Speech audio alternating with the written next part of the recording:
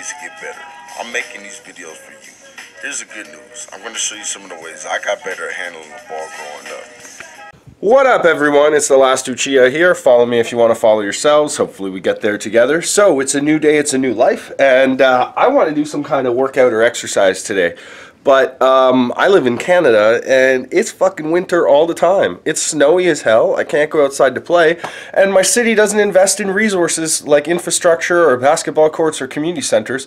So there's nowhere open today for me to go hoop. Uh, in my city, we only have hoop open in our community centers here Wednesday, Thursday, Friday, and Sunday. That's it. Uh, and there's only open for a few hours on those days. Uh, Wednesday, Thursday, uh, you know, it's 3 to 6. Friday nights it's 6.30 to 10.30 and Sundays it's 1 till 4. And that's it. That's all the time we get for basketball in the gym in my city. So um, I just want to show you what it's like out outside. I obviously can't go outside and hoop today because it looks like this out there. It's um, a little bit of a winter paradise out here. My neighbor's Christmas lights. There's snow everywhere.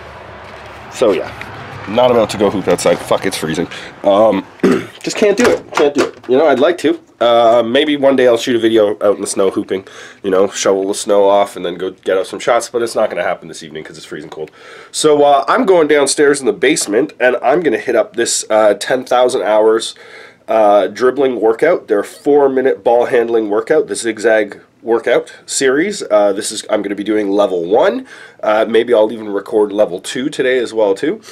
And uh, shouts out to Devin Williams and all the people that bring us the 10,000 hours uh, YouTube content and series.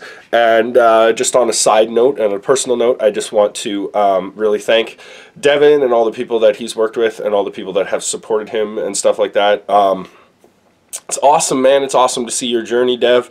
It's awesome to see 10,000 hours in the In the Lab project uh, continue, go worldwide, and inspire people. And even myself, when I was leaving a really difficult relationship and I had you know stopped playing basketball for a number of years. It was 10,000 hours, you know, that I was watching on YouTube when I was making my comeback and getting back into it again uh, a few years ago. So uh, I really credit you for inspiring me with that, and uh, I hope to inspire other people and pass on, you know, the messages of uh, hard work, believing in yourself, finding yourself, your authentic self, and uh, pursuing what you're most passionate about in life. You know what I mean? So I uh, really want to continue that. And yeah, man, so uh, I'm going to bring this workout to us today, and I'm going to go in the basement. Just let me get ready here, and uh, yeah, I'll be back at you.